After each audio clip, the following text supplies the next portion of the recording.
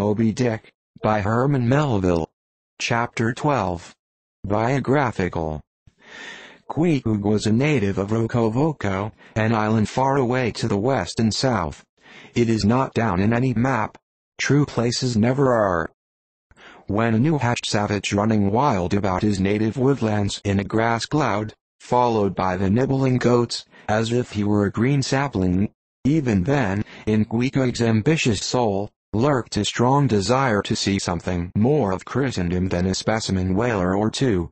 His father was a high chief, a king, his uncle a high priest, and on the maternal side he boasted aunts who were the wives of unconquerable warriors. There was excellent blood in his veins, royal stuff, though sadly vitiated, I fear, by the cannibal propensity he nourished in his untutored youth.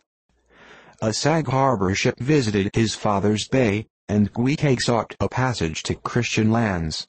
But the ship, having her full complement of seamen, spurned his suit, and not all the king his father's influence could prevail. But Queequeg vowed a vow.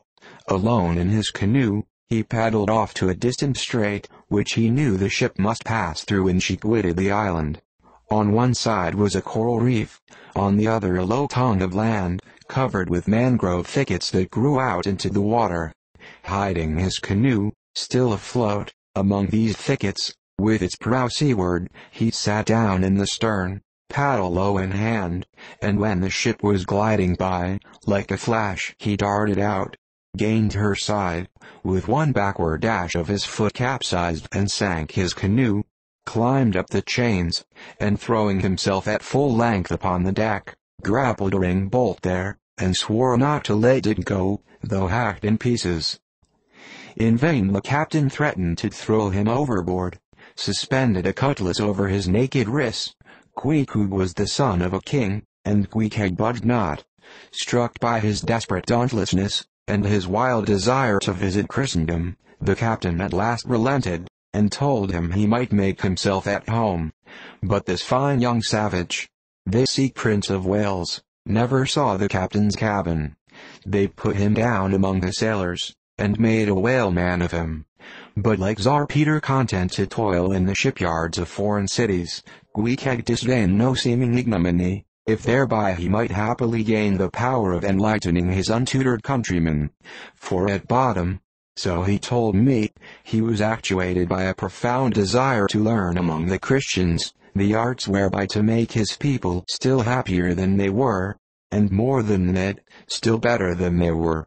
But, alas, the practices of whalemen soon convinced him that even Christians could be both miserable and wicked, infinitely more so, than all his father's heathens. Arrived at last in Old Sag Harbor, and seeing what the sailors did there, and then going on to Nantucket, and seeing how they spent their wages in that place also, poor Queequeg gave it up for lost. Thought he, it's a wicked world in all meridians. I'll die a pagan. And thus an old idolater at heart, he yet lived among these Christians, wore their clothes, and tried to talk their gibberish. Hence the queer ways about him, though now some time from home.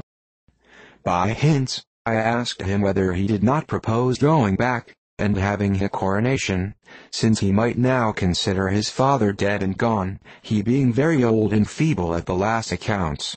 He answered no, not yet, and added that he was fearful Christianity, or rather Christians, had unfitted him for ascending the pure and undefiled throne of thirty pagan kings before him. But by and by, he said, he would return, as soon as he felt himself baptized again.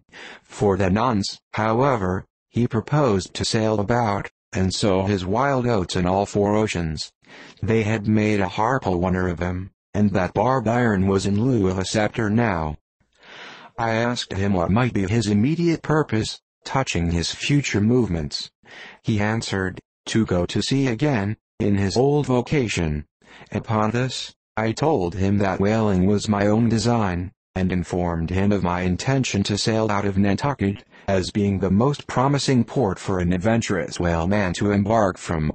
He at once resolved to accompany me to that island, ship aboard the same vessel, get into the same watch, the same boat, the same mess with me, in short to share my every hap, with both my hands in his, boldly dip into the potluck of both worlds.